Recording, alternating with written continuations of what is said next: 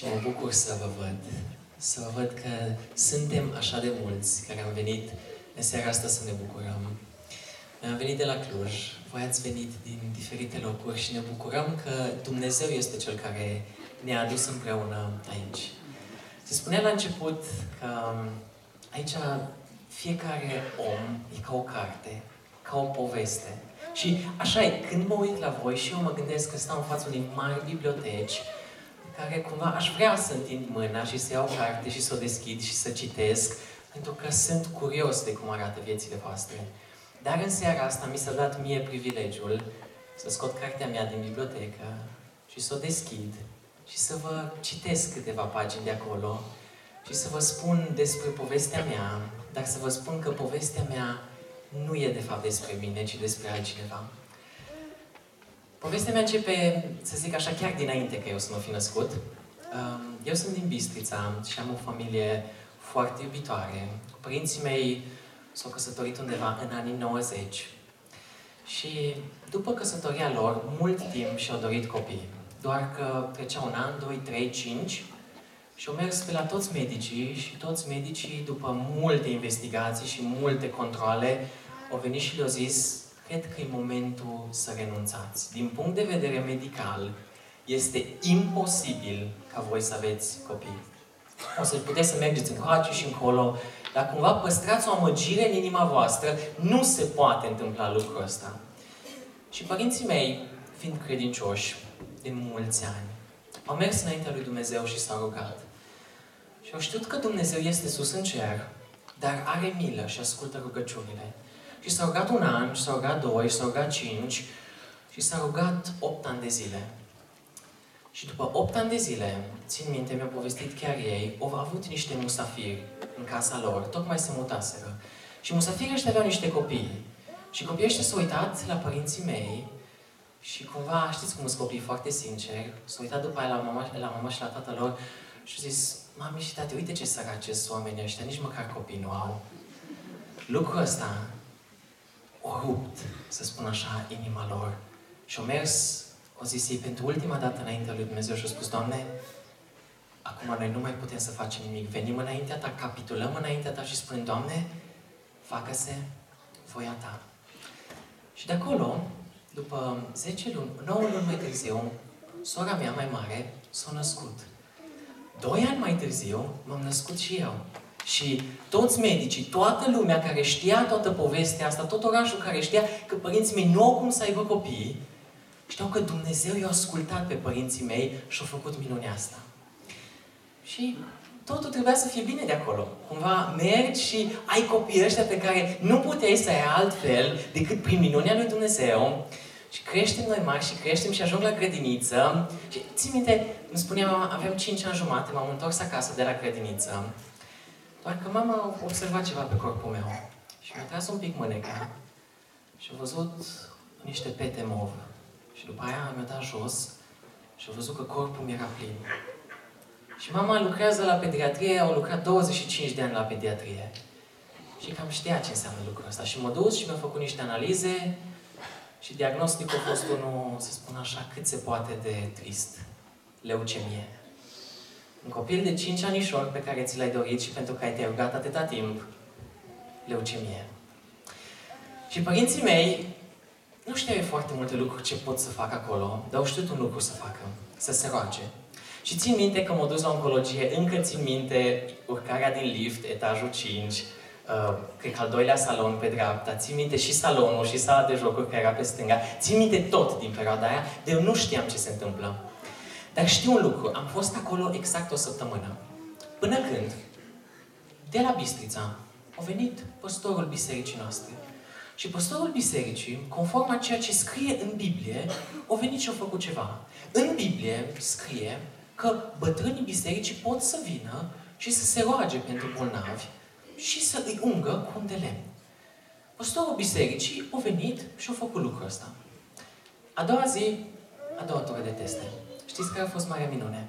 Toți medicii din nou se uitau la părinții mei mirați. Și zis, domnilor, nu știm ce s-a întâmplat, nu știm care e nu știm, copilul nu mai are nimic. Dumnezeu m-a vindecat. Dumnezeu le-a dat părinților mei un copil printr-o minune și Dumnezeu a vindecat copilul ăsta tot printr-o minune.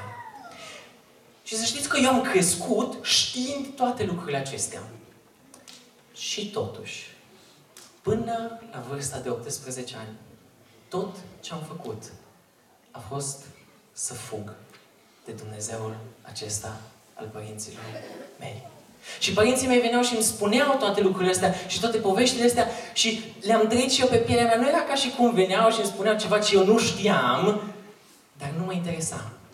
Pentru că mă gândeam că fericirea mea se găsește fie în succes academic, fie în plăcerile pe care lumea mi le oferă, fie în, în ceea ce făceau colegii mei și care mă chemau și pe mine și mergeam de bunăvoie, doar că lucrurile astea, în loc să umple bucuria din inima mea, au făcut colul ăla care era deja acolo să se adâncească și să se adâncească și să se facă mai adânc și mai adânc. Până într-o zi, când la vârsta de 18 ani, știu că stăteam chiar în fața oglinzii și mă uitam la mine și ziceam, oare ce am ajuns? Mă uitam la mine, mă uitam la viața mea pe care am ajuns literalmente să mi-o fac praf. Literalmente, părinții mei se uitau la mine și nu știau cumva ce să facă. Eu credeam că pot să-i prostesc pe ei și am aflat mai târziu că ei știau tot ceea ce eu făceam. Dar credeam că pot să pun o aparență acolo și să par copilul la bun. Nu am reușit să fac asta. Și m-am uitat la mine și apăsa asupra mea vina și apăsa o depresie și apăsa parcă un întuneric și mă uitam în viitorul meu și nu mai vedeam niciun fel de perspectivă. Mă uitam la, să mă gândesc ce să fac următorii cinci ani și mă gândeam, dar nu mai vreau să trăiesc următorii cinci ani. Mă uitam la mine și fugind de Dumnezeu am ajuns atât de departe încât am zis, cumva, Dumnezeu are tot dreptul să mă ia și să mă pedepsească. E tot dreptul Lui. Și în situația aceea, în care am venit și am spus, nu mai este nicio scăpare, nicio salvare. Dumnezeu, dacă cumva se întâlnește cu mine la un moment dat, sigur o să-mi zică, uite ce ai făcut, uite cât ți-am dat, e gata de tine.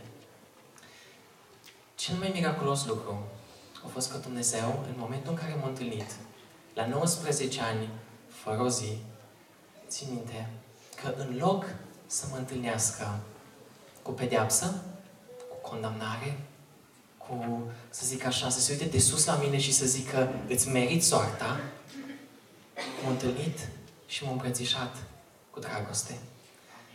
Țin minte că cineva îmi dădus o carte și am început să citesc despre dragostea lui Dumnezeu. Și am început să citesc și ceva miraculos s-a întâmplat la inima mea. Cei care ați, l-ați întâlnit pe Dumnezeu știți la ce mă refer. Dar ceva s-a schimbat acolo și știu că era o noapte, până la urmă a fost noaptea de 31 decembrie spre 1 ianuarie, în care am stat înaintea lui Dumnezeu în rugăciune, undeva eram singur, nimeni nu mă știa acolo. Și am plâns înaintea lui Dumnezeu și am cerut un lucru. Doamne, dacă Tu nu mă salvezi, eu mor. Și în momentul acela, ceva miraculos despre care părinții mei mi-au tot zis și mi-au tot zis și erau doar povești, au devenit realitate. Și dragostea lui Dumnezeu a venit peste mine și am simțit pentru prima dată pace. Am simțit pentru prima dată acea bucurie pe care am căutat-o în toate lucrurile și în toate plăcerile pe care le-am căutat. Dar am simțit și altceva. Vina aceea care a păsat tare și foarte tare și de care nu știam niciodată cum să scap. Dumnezeu a venit și mi-a zis, eu azi ți-o iau. Și niciodată nu o să trebuiască să o mai porți. Și de acolo încolo, cartea asta despre care vă spun, nu a mai fost scrisă de mine.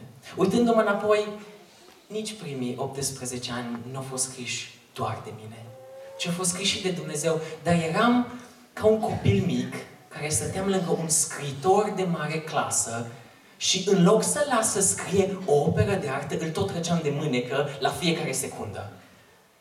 Și la vârsta de 19 ani, mi-am dat seama că nu trebuie să mai trag de mânecă pe Dumnezeu. Nu mai trebuie să mă duc eu și să zic, trebuie să faci aia și trebuie să faci aia și trebuie să fac eu asta ca să fiu fericit, ci Tu știi ce poate să mă facă fericit. De atunci încolo, de patru ani și ceva, Dumnezeu îmi scrie povestea. Și nu mai e o carte despre mine, pentru că dacă scărți despre noi, cărțile despre noi știți cum se termină? Cu moarte. Dar este o carte care este despre Dumnezeu și asta e Biblia. Și cartea asta nu se termină cu moarte, cum se termină cartea fiecărui om, ci se termină cu înviere. Așa că, dacă vreți să aveți parte de viața asta despre care eu vă spun că am primit-o eu și despre învierea aceea, să știți că Dumnezeu vă cheamă să lăsați pe El să vă scrie cartea. Să lăsați pe El să vă scrie povestea. Pentru că în momentul în care o să faceți lucrul acesta, pacea și bucuria și liniștea pe care o căutați în toate lucrurile, o să vină acolo.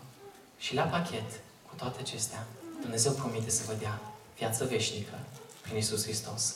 Vă mulțumesc că m-ați ascultat și mă rog ca povestea asta scurtă a mea să o țineți minte. Dar nu să o țineți minte că m-ați văzut pe mine, ci să o țineți minte pentru viața voastră. Și Dumnezeu să folosească povestea asta ca să înceapă să scrie povești în seara asta, în locul acesta. Amin. Amin.